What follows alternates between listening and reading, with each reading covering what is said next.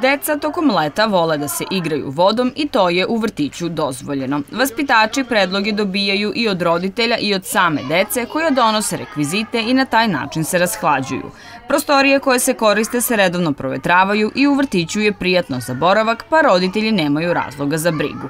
Roditelji su dobili preporuke da deca uvek imaju rezervnu garderobu u rancu. U preškolskoj ustanovi naše dece sve je podređeno upravo toj dobroj organizaciji da bi se deca unutar zajedničkih prostorija, unutar svojih radnih soba osjećala prijatno, bezbedno, hidrirano, što znači da smo roditeljima preporučili način odevanja, iz kuhinje dobijamo napitke, deci stalno nudimo da piju vodu, čak i onda kada oni to sami ne kažu, prosto da, ne bismo, da bismo izbegli tu dehidrataciju.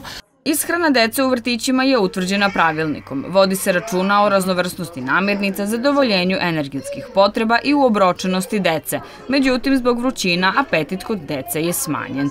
Prate se potrebe dece i shodno tome je i ishrana tokom leta bazirana na laganijim obrocima.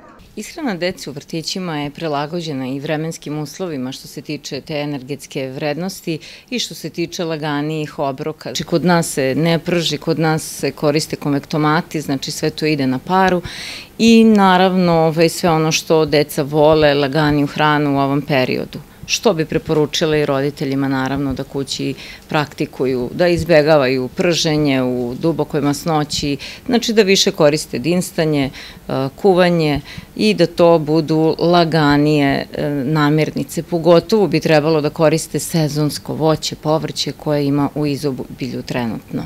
Od lubenice, dinje, krastavac, paradajz, znači kupu sve ono što deca zaista vole. Nutricionista savjetuje da deca piju što više nezaslađenih napitaka ili one koji su zaslađeni medom.